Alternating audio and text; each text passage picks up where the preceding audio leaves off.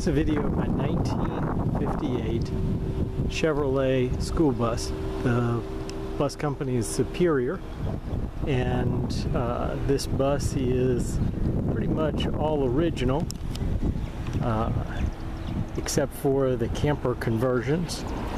The bus was uh, used by the Alamota, Kansas school district, and it was used uh, from 1958 to 1972. This would have been when they would have, uh, this is when they decommissioned it, and uh, you can see even the lights on the back of the school bus are still the tiny small uh, lights it's a fairly short bus, pretty easy to maneuver around. Next we'll go ahead and go inside and take a uh, view of the inside.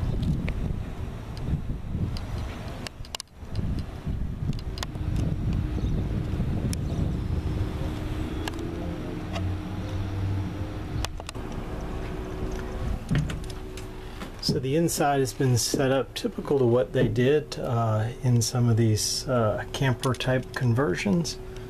Uh, it has a dinette on the side using the seats from school buses and then has some cabinets on the uh, on that same side and then uh, a couch on the right side and that folds out into a full-size bed.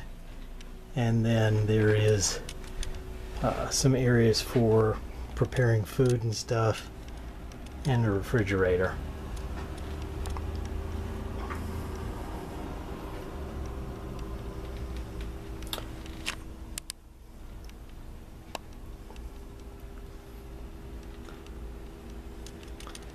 The front of the bus is all original still has its original paint on it and all the original equipment all the way even down to the um, first aid kit which is still full of all of its band-aids and, and tools